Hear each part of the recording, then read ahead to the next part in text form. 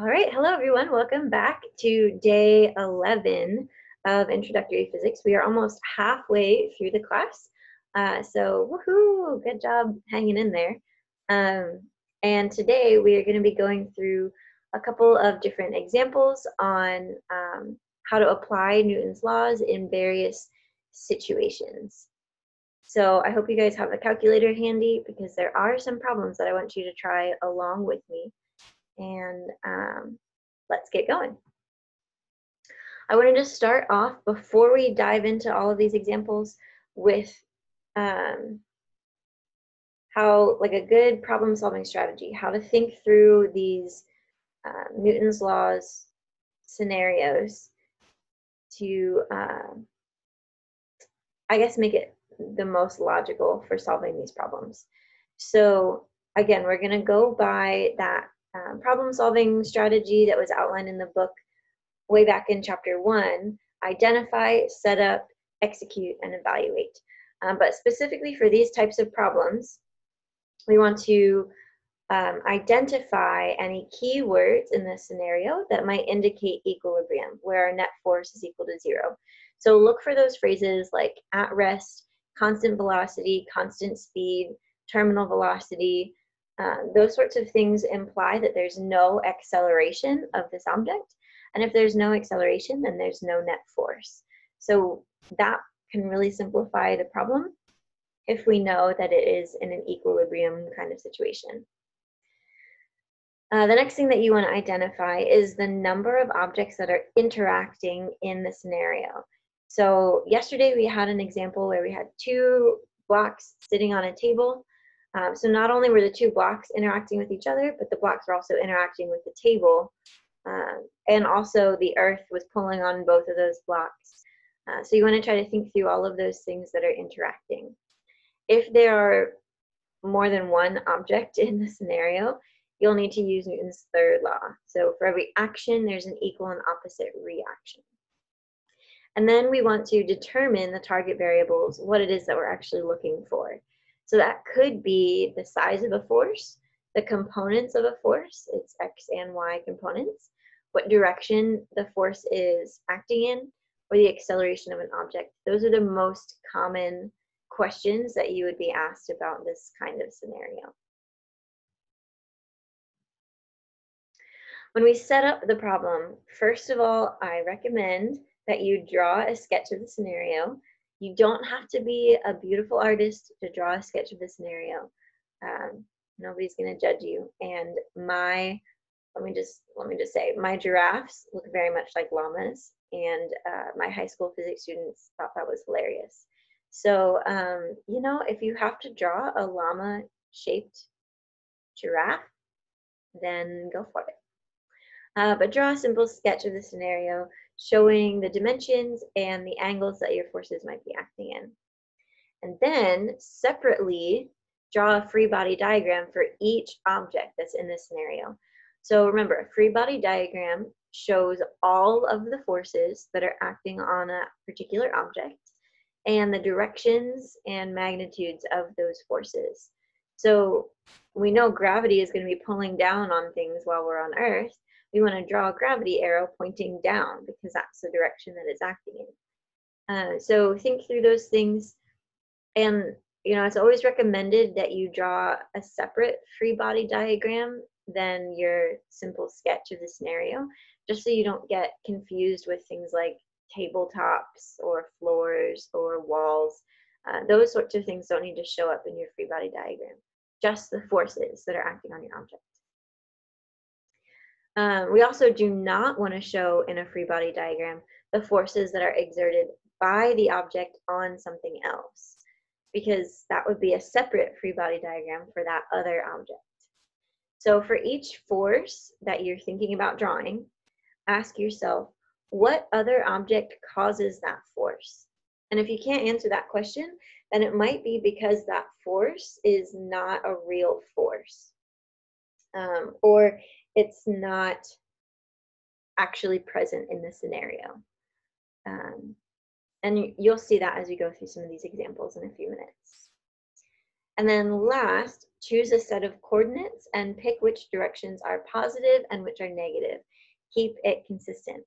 Again, usually we'll say up and right are positive, down and left are negative, but you can change that for your scenario if that makes it make more sense for you, as long as it keep it consistent throughout the whole problem.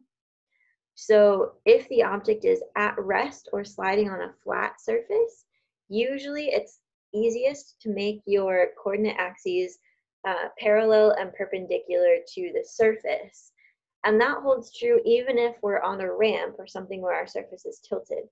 It's going to be easiest for you to make your coordinate axis like this is the y and this is the x, even though that's not what we're more comfortable with, right? Usually we would say like this is x and this is y.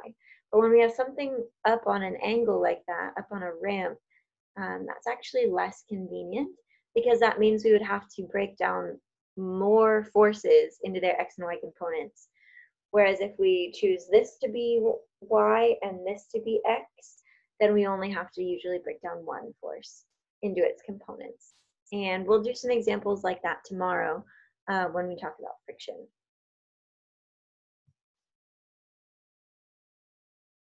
Okay.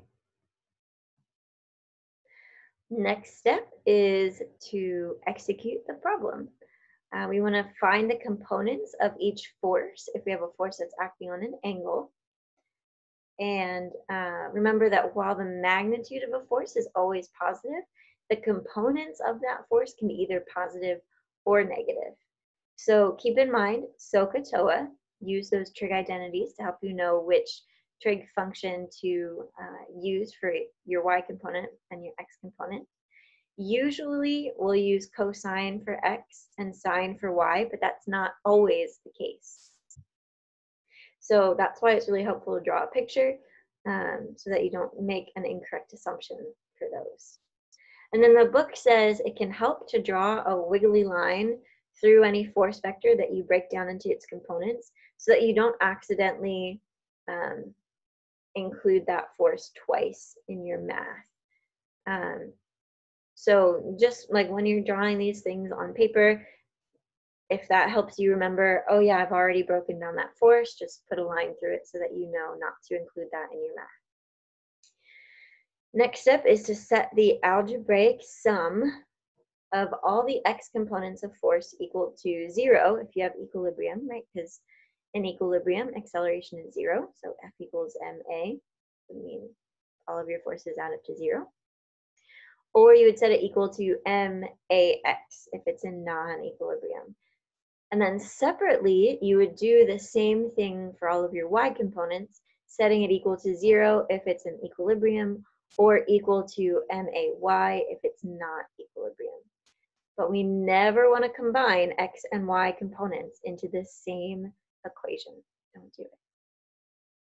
If there are two or more objects, you would do that same set of steps for each object that is in this scenario. And if the two objects are interacting with each other, remember Newton's third law relates those forces to each other, equal magnitude and opposite direction.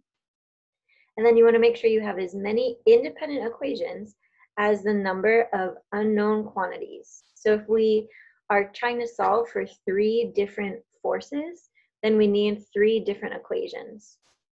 And then we would solve these equations to obtain the target variables. So let me pop over real quick to the chat because I see we have some questions.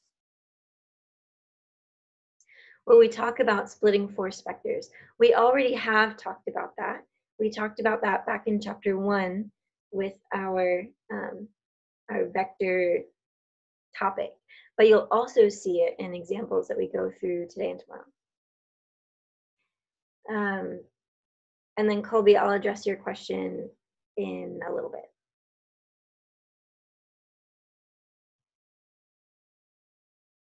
Okay. Sorry, losing my voice. Next step, evaluate. You want to look at your results and ask yourself if they make sense. Uh, so first of all, check your signs. If a force is pointing down, then your answer should be negative if that's how you've chosen your coordinate system. And if the result is a formula, then think about any special cases that you could plug in to check your um, check your formula, see if you get correct or logical numbers.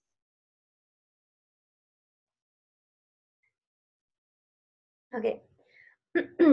Any questions about this problem solving strategy before we see it in action?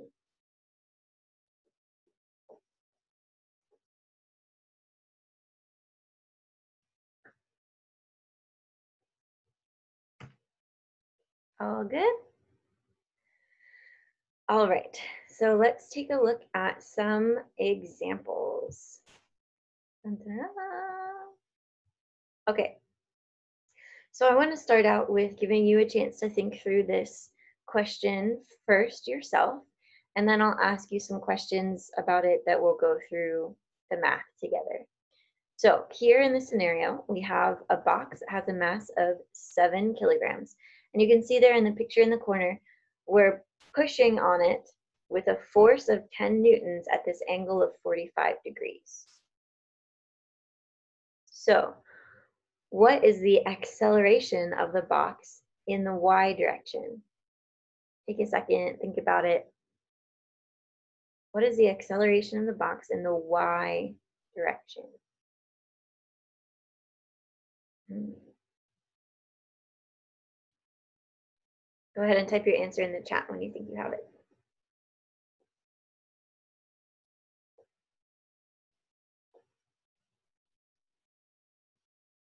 I'm seeing a zero and I'm seeing a sine of 10 newtons.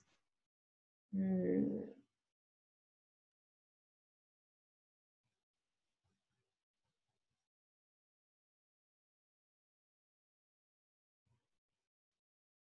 So it's kind of a tricky one to think about right off the bat, but we don't actually need any math at all to answer this question. We just need to think about what's happening in this situation.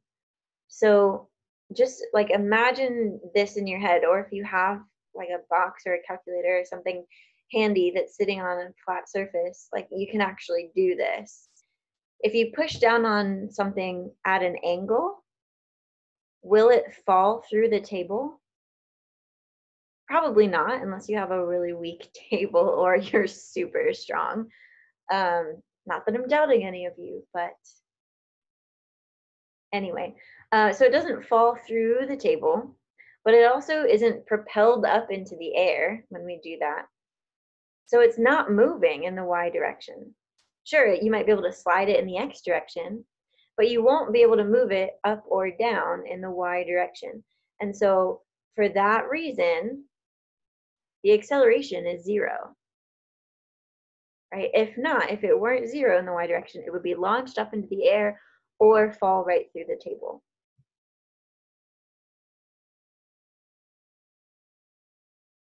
Okay, next question.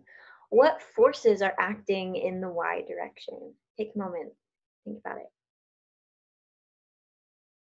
What forces are acting in the y direction?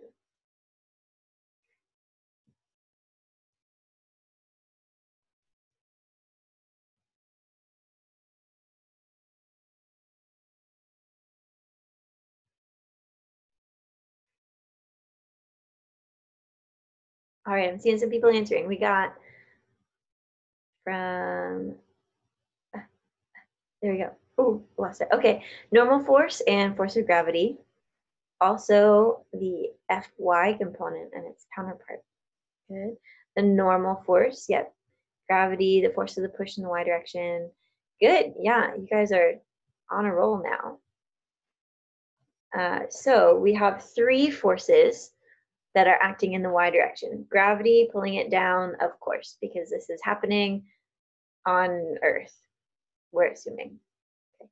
The normal force of the table pushing it back up. But then also some of that applied force is uh, in the down direction. Some of it is to the side, but some of it is down. Uh, and so we have to consider that as one of our y direction forces as well is the magnitude of the normal force equal to mass times g, or equal to the force of gravity in this case.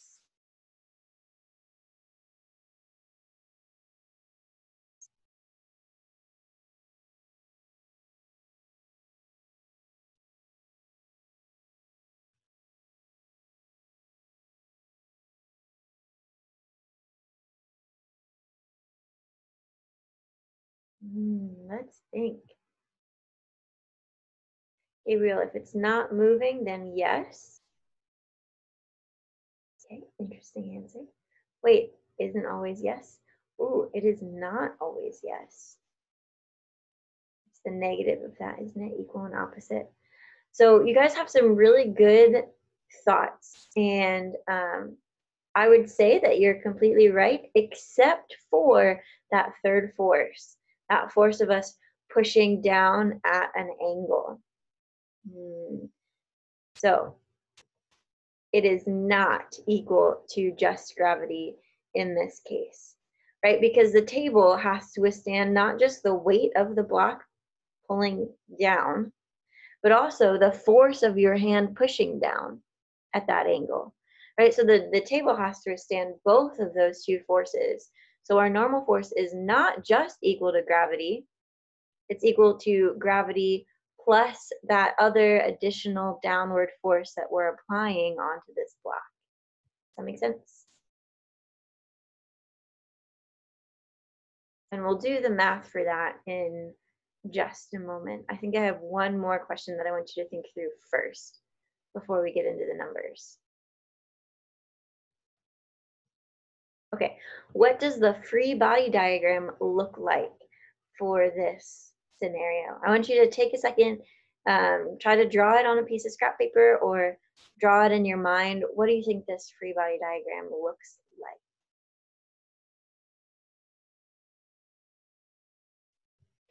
All right, let's go ahead and take a look at this together. So here's our box, and I drew in our uh, coordinate axes, well, the x-axis, first of all. So we know that the force of gravity is going to be pulling it down. And we know that the normal force is going to be holding it up. But then we also have that um, down and rightward force that we're applying onto it. FA is applied force. And that's at that 45 degree angle. Usually though, we don't like to draw forces pointing at the object. We draw forces pointing away from the object like this. So I'm just gonna move that applied force arrow down. It's still that same direction. It's just we took it and we slid it down so that now all of the forces are pointing out of the box. And that just kind of helps us uh, visually remember that um, our y component is negative.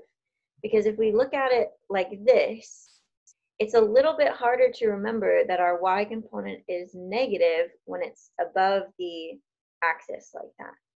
Um, but when we bring it down there, it's a lot easier to see uh, we're pushing it right and down, so positive x but negative y. So this is what a free body diagram for this situation would look like. Okay. Uh, so if you got all of those questions correct, good for you. If you did not get them correct, that's totally fine. We'll be going through this a lot. Uh, and we got a question from Joshua. What about the force of friction? You're absolutely right. That is an important thing to uh, to consider. But um, I didn't include it because I haven't taught you yet how to really calculate with friction, um, but I should have specified there's, we're ignoring friction. Good catch. No, not your bad at all. That's actually your good, um, good observation. If we were to include friction, um, we'll just talk through it. If we were to include friction, it would be pointing uh, the opposite direction of how this object would move. So when we push on it, it would slide to the right, which means friction would point back to the left. So we'd have a little leftward arrow um, directly along the x-axis. That would be friction. Okay, so now we're going to take the same scenario and calculate some stuff with it. Um, but I wanted to ask you these questions before we do our calculations because these are the types of questions that you should ask yourself before you do any plug and chug of numbers. Um, thinking through what the scenario is asking, what the movement of the object would be like, what forces are present in the scenario, and how to draw that free body diagram. All of those are things that you should think about before you just start trying to plug numbers into an equation. That's the physics of it. The plug and chug, that's algebra. This is the physics. Anywho, here we go. So what is the acceleration of the box? We know that it is not zero um, in the x direction. We know that it is zero in the y direction, right? We talked through that last slide. But if we want to find out what it actually is, then um, we set our forces equal to mass times acceleration. And we're just thinking about uh, the x direction because we already talked about why there's no acceleration in the y direction. So our net force in the x direction equals mass times our acceleration in the x direction. So I drew in here in the diagram um, some orange arrows that show how to break that applied force arrow down into its components. So we have the x component going to the right and the y component going down. Uh, so we're, we're really interested in that x component of the applied force. So applied force in the x component, that's the only x-word force that we have uh, if we're ignoring friction, which I am in this case. If we were not ignoring friction, you'll see what to do with that tomorrow. Uh, but anyway, that x component of the applied force equals mass times our x acceleration. So our x component here, uh, we can see our angle 45 degrees is adjacent to that uh, component that we're interested in. So that's the cosine. So applied force times the cosine of 45 degrees equals mass times our acceleration in the x direction. Our applied force is 10 newtons, our mass is 7 kilograms. So once we plug in all those numbers, we get an acceleration in the x direction of 1.01 meters per second squared. And again, our acceleration in the y direction is zero because it's not flying into the air and it's not falling through the table. All right. What is the magnitude of the normal force? Well, we know that it's not equal to just the force of gravity in this case, uh, because there's this additional y component of the applied force that we have to consider. We know how to calculate the force of gravity. It's always going to be the same mass times g, so 7 times 9.8. And that gives us a force of 68.6 newtons. our y component of the applied force is the side that's opposite our 45 degree angle. So we're going to use the sine of 45 degrees. Plug in 10 newtons as our applied force, and that gives us a y component of that force of 7.07 newtons. So those two are just magnitudes of our forces. We know that they're both pointing down, so when we actually plug them into our net force equation, we'll make them negative. But for here, these are just the magnitudes of those forces. All right, so now our net force in the y direction equals mass times acceleration in the y direction. And we know that acceleration is zero. So we have the normal force pointing up, the force of gravity pointing down, and the applied force in the y direction pointing down. So uh, normal force is positive and those other two are negative. So uh, sorry, normal force minus force of gravity minus applied force in the y direction equals zero, which means that our normal force equals the force of gravity plus the y component of the applied force. So we add those two forces together and we get a normal force of 75.7 newtons which is not the same as gravity by itself. Any questions, comments about this particular example?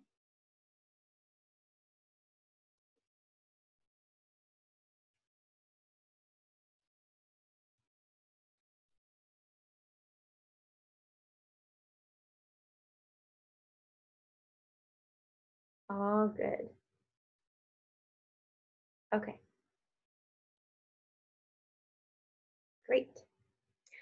Uh, well, let's move on to the next one. Okay, so here's another scenario. I want you to think through this initial question first. The box has a mass of 90 kilograms. Will the box move exactly along the x-axis? Yes, no, or I don't know until I do the math. What do you guys think?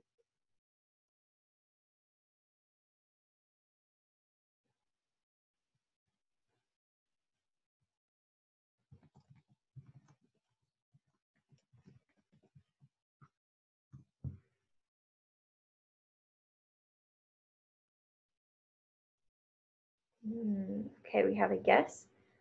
I think it won't. And we have a guess of yes. Hmm. Fight, fight, fight, fight. No, don't do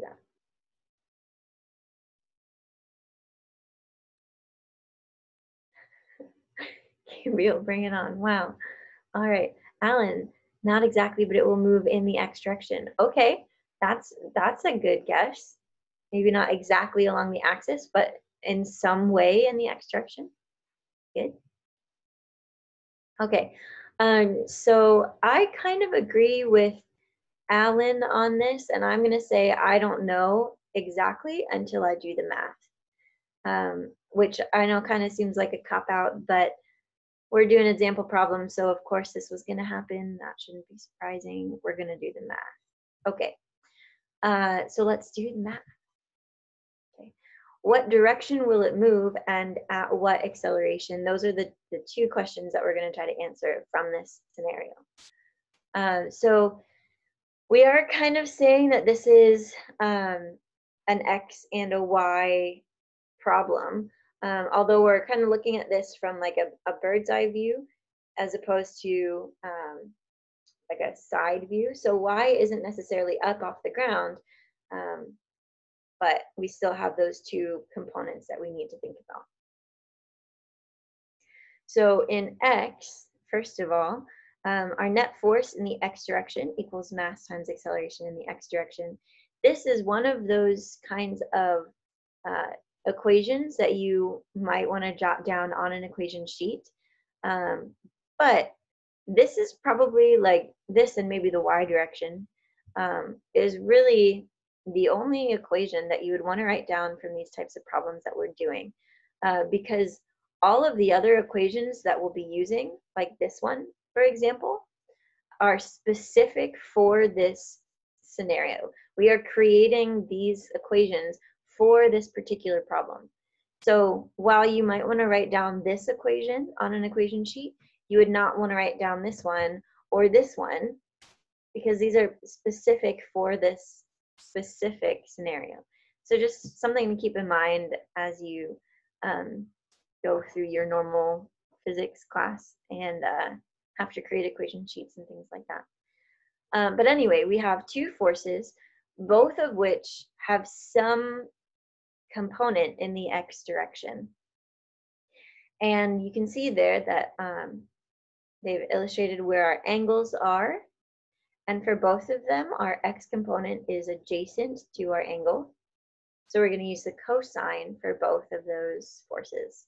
So force 1 is 100 newtons. So 100 times the cosine of our angle 60 plus 140 times the cosine of 30. And we're adding those together because both of those forces uh, we can see will bring it in the positive x direction. Um, so our mass is 90 kilograms. And now all we need to do is find the value for A. So 100 times cosine 60 is 50, and 140 times cosine of 30 is 121 which gives us an x acceleration of 1.9 meters per second squared. Now, very similarly, in the y direction, uh, our net force in the y direction equals mass times acceleration in the y direction. We have two forces. One is pulling up in the positive y direction. The other is pulling down in the negative y direction. So that's why in this case we have F1y minus F2y Whereas with x, we had f1x plus f2x because they were pulling in the same direction. These are the opposite directions. So um, our y components are the sides of the triangle that's opposite of our angle. So that's the sine. So 100 sine 60 minus 140 sine 30 equals 90 times acceleration. And once we simplify and do all the number crunching, we get a y acceleration of 0.184 meters per second squared. So it's not moving very much in the y direction, but it is moving in the y direction as well as the x direction. Okay, um, but since it didn't ask us specifically for the components, it asked us for the acceleration, I'm going to take this a step farther and solve for the magnitude of the acceleration. So there we have our components that we just found. The magnitude, we're going to take the Pythagorean theorem, the square root of our x component squared plus our y component squared gives us an acceleration of 1.91 meters per second squared. And our direction, remember we're going to use the inverse tangent of the y component over the x component. So that's the inverse tangent of 0.184 over 1.9. And that gives us an angle of 5.53 degrees. So again, not very much in the y direction, but still significant enough to include. Um, so there we go. Any questions, comments, concerns about uh, this example?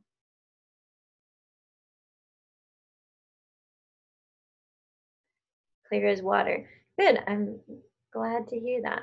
I hope you have clear water, but uh, good. Okay, and again, if you guys have any questions at any point, um, you can let me know in the chat. Uh, you can send me a private chat if you feel more comfortable doing that, or you can ask a question of the whole group. Um, and if there's a question in the whole group that I don't happen to notice right away, um, then feel free to try to help each other out. Okay. Next question, the Atwood machine. Uh, so these are, they kind of look like torture devices a little bit, I think. Uh, hopefully they won't torture your brain too much as you think through these types of scenarios. Uh, but anyway, we have a string that connects two masses going over a pulley. How fast do the masses accelerate? So in this case, we're going to do this question all in terms of variables because we don't have any specific numbers that we can plug in. Um, so I wanted to show you an example like this where we're doing just variables so that you can see how to check your final equation to see if it makes sense when you don't have any actual numbers. So step one, draw a picture of the scenario. So here we have our pulley and we have two masses hanging off of this pulley.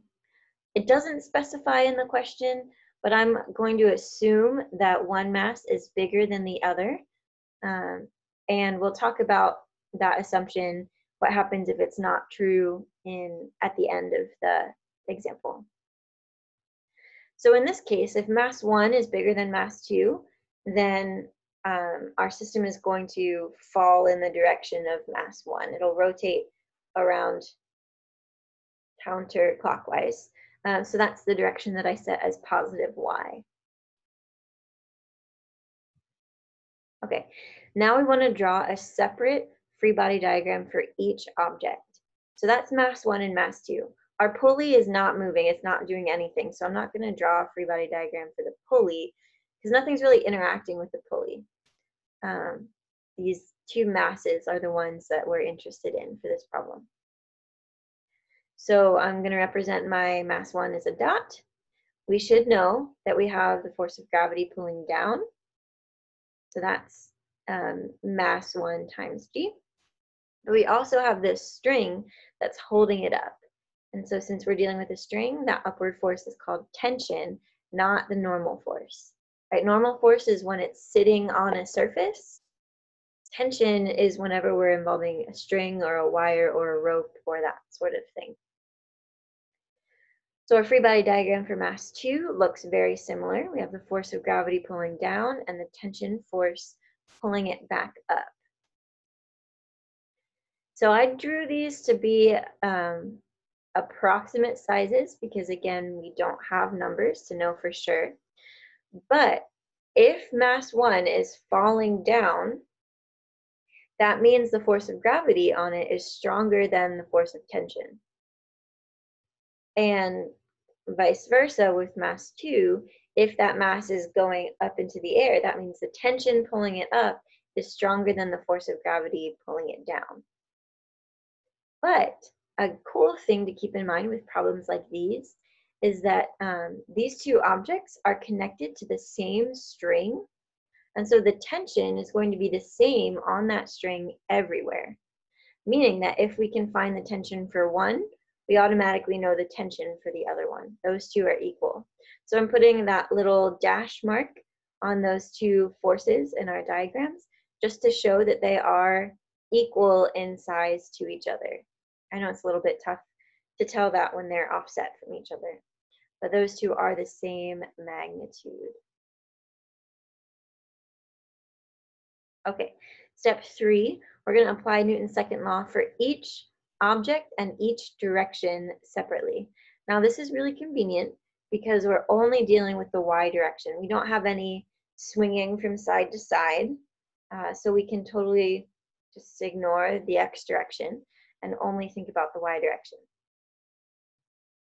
So for mass one, we have our net force, and I didn't even bother to specify in the y direction because again, that's the only direction that we have motion in.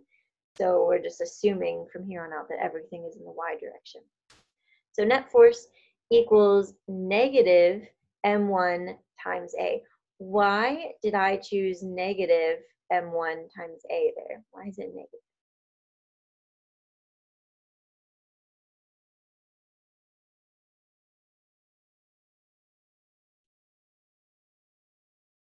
Because it's going down. Yes, absolutely. Great, great work. Uh, and that's a key thing that a lot of students will miss when they do types of these types of problems. Um, you have to remember that one of these objects is going down and one of them is going up. So they're going in opposite directions and uh, one of them is going to have to be negative, right? You can choose down to be positive if you want to, but that means your M2 acceleration would be negative because it's going up then in that case. Okay, so um, just one of those things, don't forget to do that. Negative because it's accelerating downward. Okay, so the forces that we have on mass one are tension and the force of gravity. Tension is positive because it's pointing up. Gravity is negative because it's pulling down. So tension minus m1 times g equals negative m1 times a. We're going to bring that force of gravity over to the other side of the equation so that tension equals m1g minus m1a. And then we can simplify that a little bit uh, if we want to, but I'm just going to leave it like that. For mass 2, similar sort of situation, except now acceleration is positive because it's going up. So our net force equals m2 times a positive acceleration. We have tension pulling up minus gravity pulling down. Gravity is always going to be mass times g, so tension minus m2g equals m2a. And now we already know what tension is from mass one. So we're going to substitute in that variable so that we can simplify our equation a little bit. Right, so if tension is m1g minus m1a, then we're going to plug that into our equation for mass 2. So our equation becomes m1g minus m1a minus m2g equals m2a. So you can see on the left side of that equation, we have two terms that both have a g in them. So we're going to factor the g. Um, and that should be an equal sign, not a minus right here. Sorry about that typo. So when we um, simplify our equation after that and solve for the acceleration, then we get a result of m1 minus m2 divided by m1 plus m2 times g. And this is our final acceleration equation. It looks a little scary because it's all just variables. Um, and we tend to, at least most people tend to like numbers better than letters in math. Um, so there's that. But it's actually really helpful sometimes to leave our equations like this in terms of variables so that we can uh, check and see if it makes sense. Um, so let's go through some um, specific cases of this and uh, see if we can double check our work. Okay, so this is how we will evaluate our answer, right? If M1 is, um, if M1 is bigger than M2, then our acceleration will be less than the acceleration due to gravity. Okay, and that should make sense uh, because this object is not free falling, right? There's still a string that's holding it up. So it's not going to be able to fall as fast as it could if it were just free falling down through the air. Um, and so if mass one is bigger than mass two, um, then mass two is, is going to slow it down a little bit. So our acceleration will be a little bit less than the acceleration due to gravity. And that's what, what we see from our equation. Another case, if mass two is greater than mass one, and our initial assumption was incorrect, then our acceleration would be negative. Uh, and so that would make us realize then that our system would rotate the other direction um, and so that would kind of uh, just physically make sense um, that if our M2 is bigger than M1, it would fall towards the heavier mass. So our acceleration would be negative because it's rotating the opposite way of our assumption. If mass 2 were equal to 0, that would be like we completely cut the string um, and so both mass two terms in this equation here would disappear because they're equal to zero. And so that would be like saying acceleration equals m1 over m1, which simplifies to 1, times gravity. And that should make sense to us too. If we cut the string above mass 1, um, then our mass is going to free fall, and our acceleration is the acceleration due to gravity. And then finally, if mass 2 equals mass 1, then um, our, our top of the fraction here, mass 1 minus mass 2, would become 0 because those two numbers would be equal. So our acceleration would be 0 times g, or just 0. And if those two masses were equal to each other, it wouldn't tend to rotate towards one or the other because they're equal to each other. So there would be no acceleration and our object would I mean, our system would just chill there. Um, so going through all of those different special cases kind of helps us check whether or not our equation makes sense. And in this case, it does. So yay, go us. Um, let's see. Do you guys have any other questions about this example other than my typo right there towards the bottom, uh, which I'll fix when I upload this to Canvas.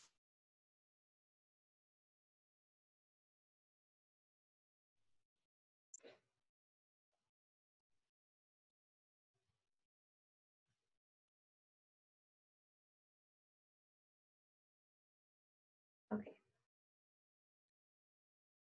Yeah, I see that comment there. You always set up as negative and down as positive because you see it as it's moving against or with the forces of gravity. Um, that's totally valid. You are welcome to do that.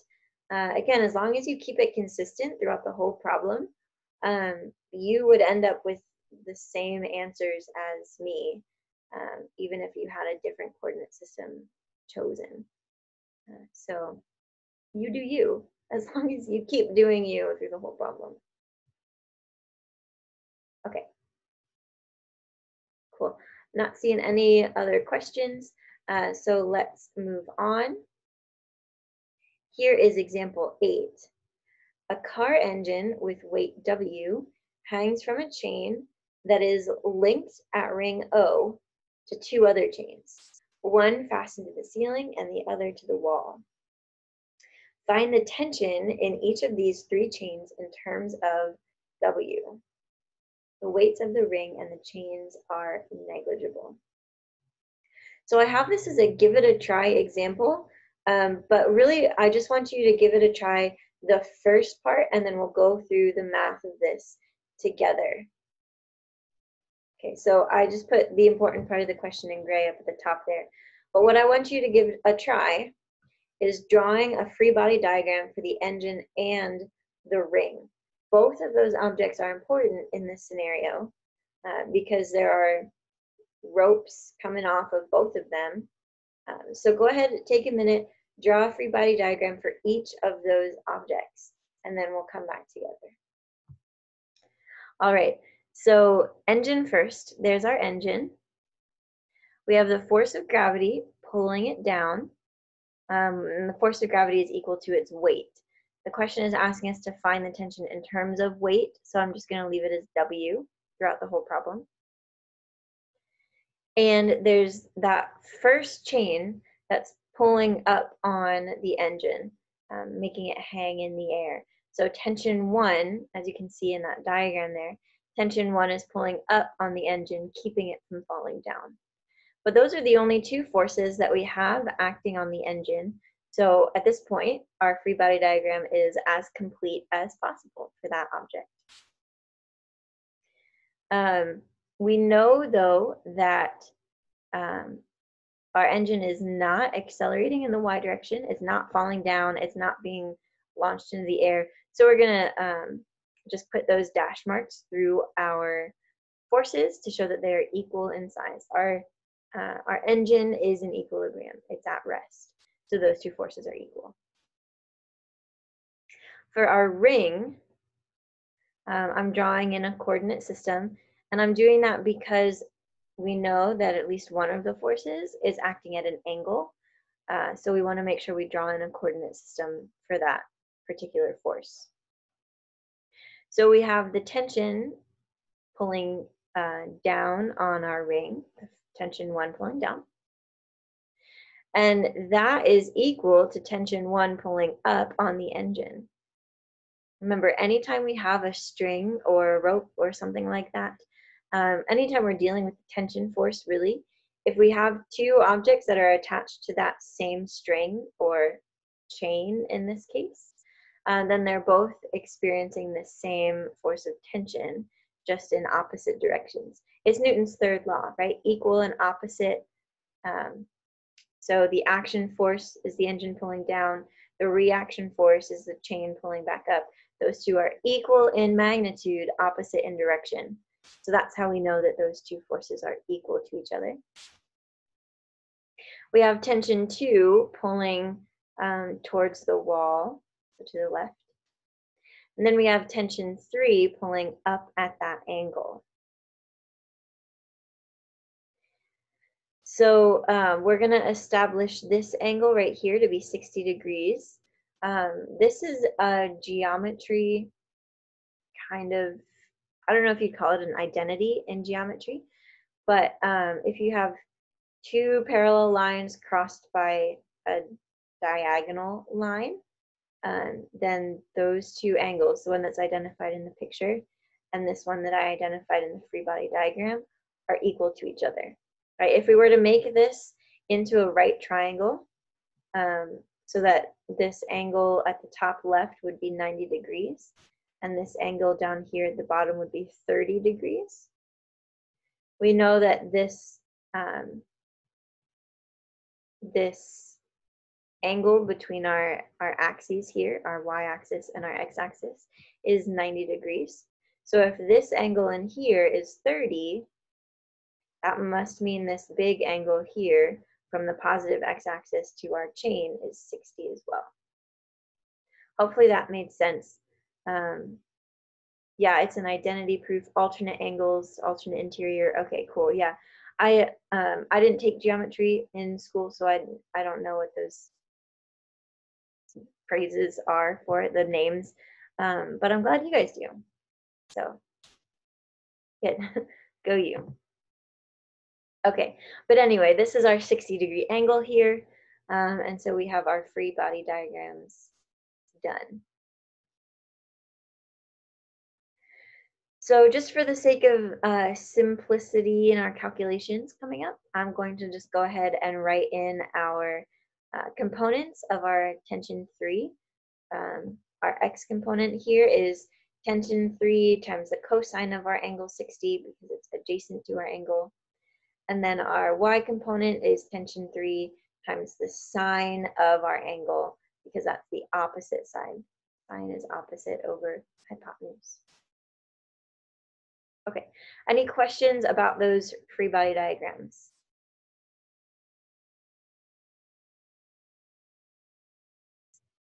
For those of you who felt a little bit clueless, uh, just being thrown into this, does it make a little bit more sense now that you see them?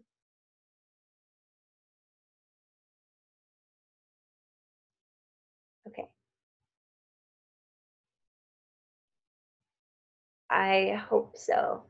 Uh, somewhat. Okay, so um, if you have a specific question about them, feel free to let me know in the chat. Um, but I think, as with most things in physics, the more examples you see of it, the more it will make sense and the easier it will become to do it on your own. So that's why we're doing so many of these examples.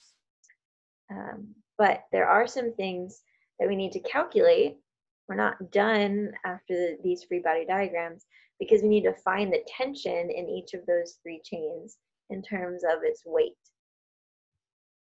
So to do that, we're going to apply Newton's second law, and I'm going to look first at the engine because that's the simpler one. It's not moving side to side.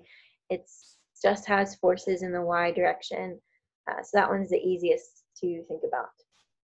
I'm using this notation this time uh, just so we get used to seeing it written both ways. Sometimes you'll see it as the net force in the y direction, like we've done in previous examples, but some professors and textbooks prefer this symbol, uh, sigma, meaning the sum of the forces. So I just wanted to make sure that you see that in action as well.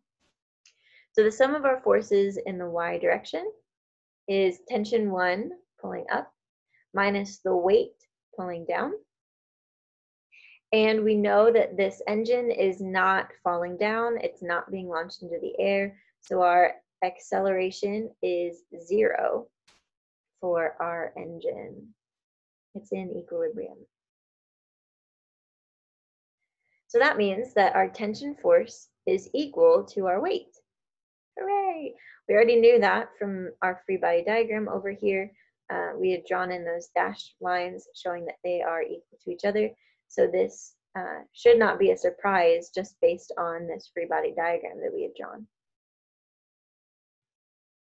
So over here in this green box, I'm going to keep track of the tensions once we calculate what they are, uh, just because there are three that we need to find, um, and they relate to each other. Okay. So that's it for the engine. Um, now let's look at the ring. So thinking about the y direction first, you can do it either way. I just think in this case, the y direction is simpler to think about first. Um, so in the y direction, we have the sum of our forces in the y direction, which is that y component of tension 3, T3 sine 60, minus our tension 1, and again, it's not swinging side to side. Uh, so our ring is in equilibrium as well, which means our acceleration is zero. So that means that our tension 3 equals the sine of 60, I'm sorry, tension 3 times the sine of 60 degrees equals tension 1. But we already found that tension 1 is the same thing as our weight. So that'll equals the weight. Which means tension 3 is our weight divided by the sine of 60 degrees, or 1.15 times the weight. So that's tension 3 in terms of W. Now we can look at the x direction. So the sum of our forces in the x direction equals our x component of tension 3 minus tension 2 pulling to the left. Again, it's not moving anywhere. It's in equilibrium, so our acceleration is 0, which means T3 cosine of 60 equals T2. We know what T3 is. It's 1.15 W. Um, so substitute that in times the cosine of 60 degrees. That gives us T2 to be 0.58 W.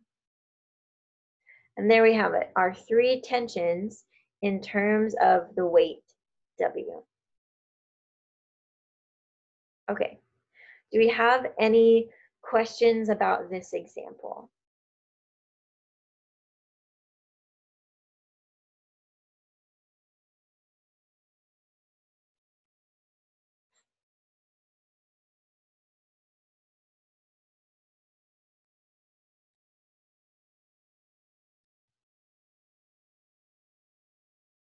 I'm not seeing any questions. Uh, so we will do uh, one more example together today, and then we'll do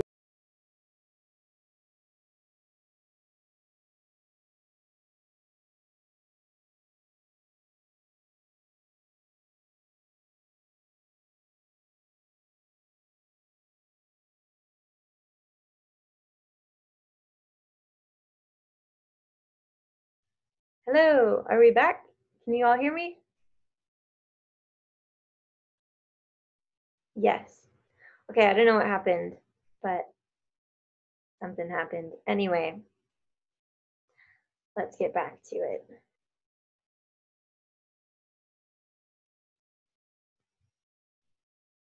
Just blame Gabriel. okay. Uh, Joshua, can we leave it in terms of sine and cosine? Um, you could, but I would say um, you'll generally want to simplify as much as possible. Um, even, you know, just for the sake of plugging things in. Like if we had left um, tension three with the sine and cosine, um, as tension three equals weight over sine of 60 degrees. Um, and then we had to plug that in to solve for T2, it just would have made our equation a little bit more gross to look at. Um, but I mean, you could, yeah, if you don't have a calculator, if you like forget you have a test that day and leave your calculator at home or something like that, then for sure, I mean, leave it in terms of sine and cosine if you don't know those um, numbers off the top of your head. Um, which I I don't. so um, yeah, simplify as much as you can though is generally the rule of thumb. Okay. Um, so let's go through one more example today. Ooh, just kidding, not there yet. Um, our next example is going to deal with apparent weight and weightlessness. So I wanted to give you a quick little uh, lesson on what apparent weight and weightlessness really mean. So previously we've been referring to weight as the force of gravity pulling down on you, um, which, you know, when we refer to it as that, we'll just call it weight. But there's also something called apparent weight, which is the weight that you feel. Uh, so this is more related to the normal force than actually related to weight uh, because apparent weight is the upward force that opposes gravity and prevents a supported object from falling. So, for example, if you're standing on your bathroom scale to find out how much you weigh, it's actually telling you how much normal force the, the scale is having to push up on you to withstand the force of gravity pulling down. So your scale actually measures your apparent weight, not your actual weight. Um, usually they are equal to each other unless the object has an acceleration with a vertical component. So if you're lifting something, um, or if you're in an elevator, or if there's a rocket attached to it, or on a roller coaster, that sort of thing, then your apparent weight is not equal to your actual weight. Or if there's some other force than the Earth's gravity and normal force acting on the object. So like buoyancy, magnetism, centrifugal force, gravitational force from something else, um, all of those things could like interfere in a sense. Uh, and so that would change your apparent weight, right? I mean, if you think about it, like if you have magnetic shoes and then you step onto a big magnet, that's going to be pulling you down along with the gravity that's pulling you down. So that would make you feel heavier as you try to walk across this magnetic surface with magnetic shoes. I'm not sure when you would actually do that in real life, but I mean, hey, you you live your life. You do you. yeah, if you're feeling self-conscious, just weigh yourself on Mars instead. Simple. Or the moon, you know, if you're feeling you really want to go on a weight loss plan, go to the. Weightlessness happens when there are no contact forces at all pushing up on the object. In that case, the apparent weight is zero. Um, so this would happen to astronauts in space um, when they're flying around, well, floating around in the International Space Station. Um, they feel weightless because there's nothing pushing up on them, um, no normal force pushing back up on them. Uh, you can also feel this though when you're like on a swing set and you're at the peak of the swing right before you start coming back down. You kind of like hover momentarily before you start coming back down. Um, so that would be uh, an example of approximate weightlessness. oh, I like that. I need to lose mass. You're more attractive with it. I like it. What about the flights that make you feel weightless? That's kind of the same effect, right? Uh, yeah, so there's like the astronaut training flights. Um, they call it the vomit comet uh, because they, there's this big, there's this plane with this big open space. Um, and so they take you up really really high and then it's just basically like a steep drop down. Um, and so when you are falling you're falling at the same rate the plane around you is falling. And so um, you can kind of like float around in there like you would in space because since both things both you and the plane are falling then um, there are no contact forces acting on you so you feel weightless. Um, and so they to train astronauts they do this uh, periodically. And um, yeah. Makes you feel weightless. Okay so before we leave today we have just a couple of minutes. Um, i want to do this last example with you about apparent weight. So a 50 kilogram woman stands on a bathroom scale while riding in an elevator accelerating at 2 meters per second squared. Because who doesn't do that on a normal day-to-day -day basis? What is the reading on the scale? Okay, so here's our picture. This lady who happens to have a bathroom scale and an elevator. If we draw our free body diagram for her, we know that there's the force of gravity pulling down, which is equal to mass times g. So 50 times 9.8 or 490 newtons. We also have the normal force pushing back up, which we don't know the magnitude of. Um, that's what we're trying to find. So if we take the sum of our forces in the y direction, then we have the normal force minus the force of gravity equals mass times r y acceleration. Okay, leaving it in terms of variables for now, um, that means that our normal force equals mg, our force of gravity, plus ma. And then we can factor out a mass, get mass times g plus a.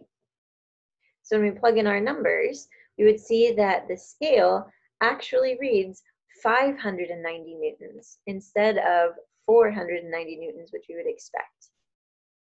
Right, so this would be like when the elevator first starts moving upward. Um, you feel like you weigh a little bit more. Um, okay. If the elevator were accelerating with negative 2 meters per second squared, what would be the reading on the scale this time? Take a quick second, try to figure it out on your own.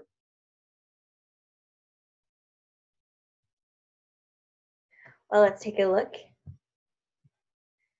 Okay, our free body diagram, we still have the same force of gravity pulling down on her because she has the same weight. Like in, in real life, she would have the same weight, you know, she doesn't just randomly lose mass. Um, now we need to find the, the normal force again. So we set it up the same way, except now our acceleration is negative 2. So when we plug in our acceleration, we plug in negative 2, and that gives a normal force of 390 newtons. Yay! So um, you can feel this yourself. Like the next time you go in an elevator and the elevator starts moving down, you feel a little bit lighter momentarily while it's accelerating downward. Um, same thing when it's lifting you up, you feel a little bit heavier momentarily. Um, and that's because of physics. That's not just an illusion in your brain, that's physics. Woohoo! Um, so that's all I have for you guys today. Let's try with roller coasters. Yeah, you feel the same thing on roller coasters, absolutely. Um, and I agree that is more entertaining than riding an elevator. Um, but anyway, Tomorrow we will talk about friction and how to incorporate that into these examples. So we'll do some more example problems again um, with friction and on angles and wrap up uh, chapter 5. So next week we'll move on to actually chapter 12 first, uh, and then we'll jump back to chapter 6. Um, so recommend that you bring a calculator along with you tomorrow so that you can do some of these example problems along with me. Um, but as always, if you guys have any questions, comments, concerns, feel free to stick around after I stop the recording. And if not, I hope you guys have a great day uh, and I'll see you all tomorrow.